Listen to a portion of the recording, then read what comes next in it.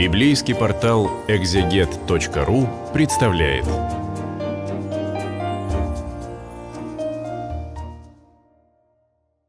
Здравствуйте. Это видео для библейского портала exeget.ru. Мы поговорим сейчас о четвертой главе книги пророка Иезекииля. Четвертая глава состоит из э, трех очень своеобразных фрагментов своего рода пророческие притчи или пророческие действия, которые Иезекииль совершает по повелению Божьему.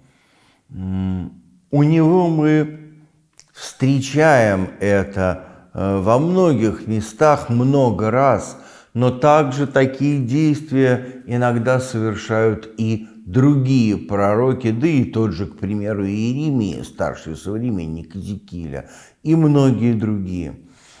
Когда пророк нечто делает шокирующееся, брош, шокирующее, бросающееся в глаза и запоминающееся, как некоторый видимый образ, видимая притча, э, которую следует его современникам увидеть, запомнить и попытаться понять.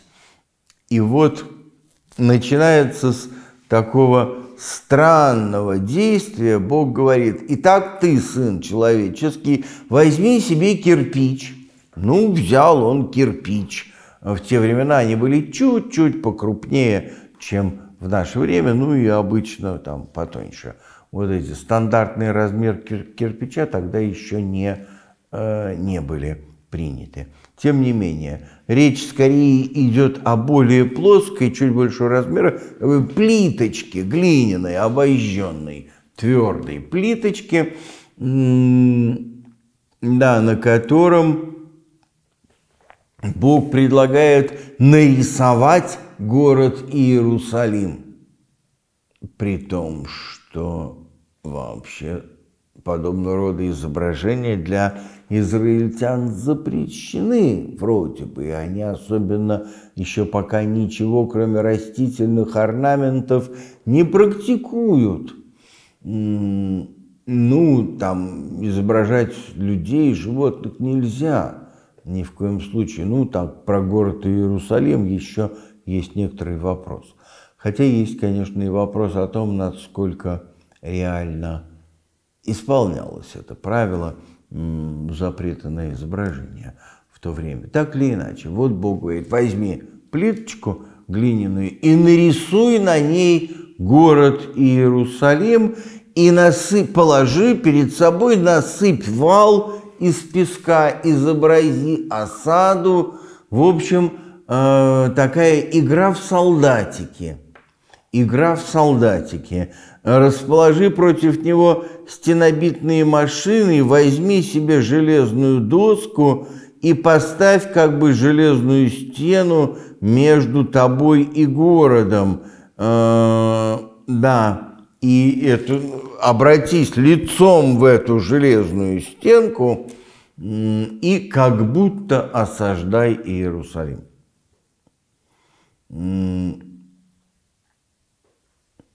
Ну, во-первых, это образ того, как что-то, в данном случае железная э, доска, э, является преградой между врагом и Иерусалимом.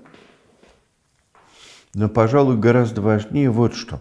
Вот Иезекииль, средних размеров дядька, перед которым вот эта вот крошечная глиняная пластиночка, на которой там этот Иерусалим нарисован. Разница масштабов.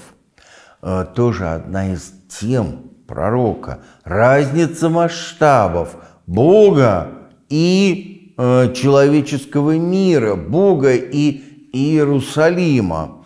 И вот, кроме этого, собственно,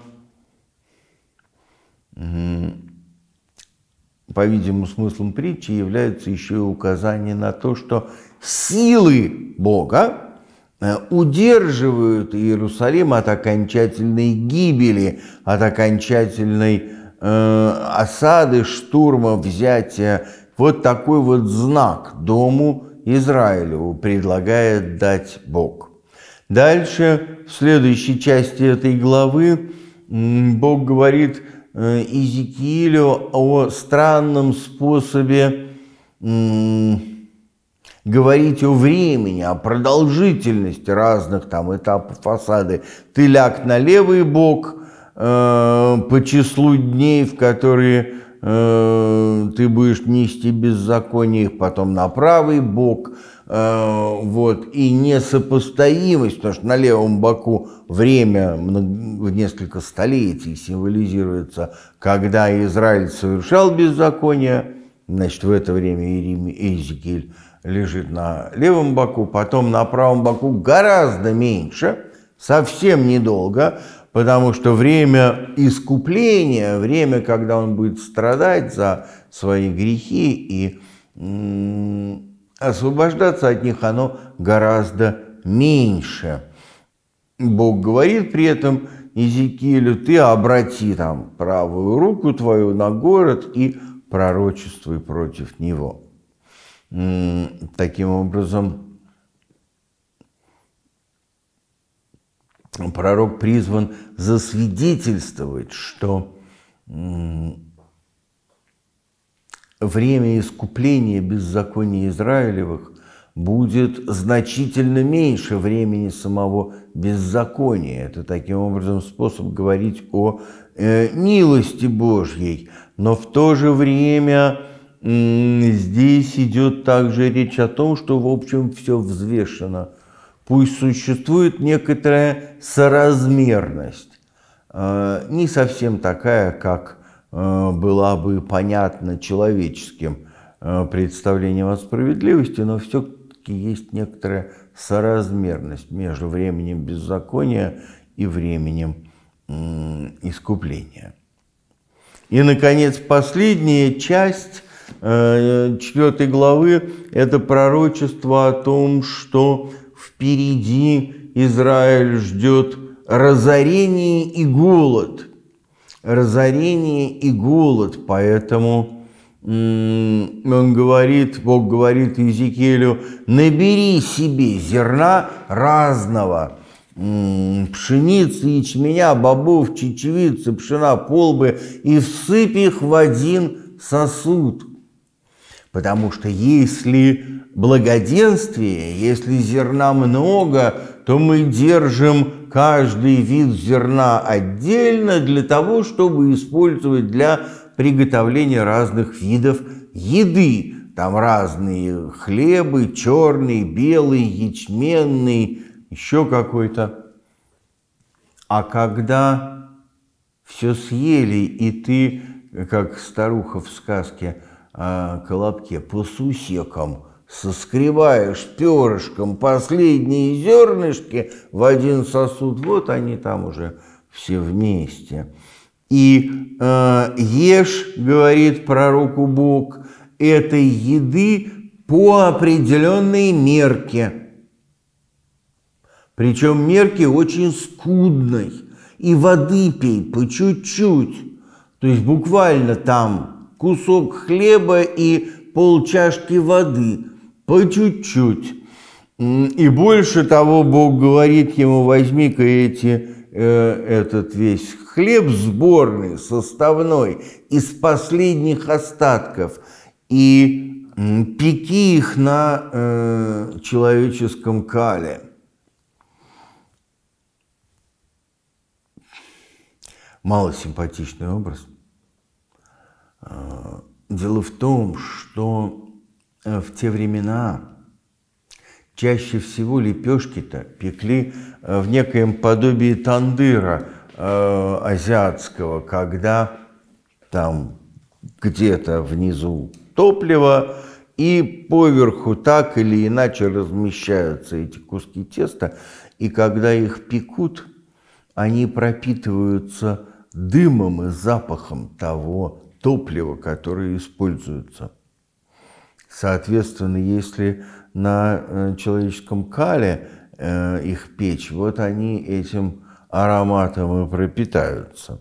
Но, правда, потом Господь, э, когда Иезекииль возмутился духом и сказал, что ну никогда я не оскверялся никакой мертвечиной, он ему сказал, ладно, разрешаю тебе вместо человеческого кала использовать коровий навоз. Не сказать, чтобы сильно было лучше. Ну, все-таки на нем приготовляй хлеб свой. Ну, действительно, кизяк высушенный э, и сейчас иногда используют в качестве топлива. Но важно вот что. Смотрите, вот Бог говорит, Сын человеческий, я сокрушу в Иерусалиме опору хлебную, и будут есть хлеб весом и в печали и с ужасом будут смотреть друг на друга. Таким образом, хлеб жители Иерусалима э, будут есть э, не столько, сколько хотят, а сколько им дают, как рабам. И воду пить будут не столько, сколько нужно или хотят, а сколько дадут, как рабам.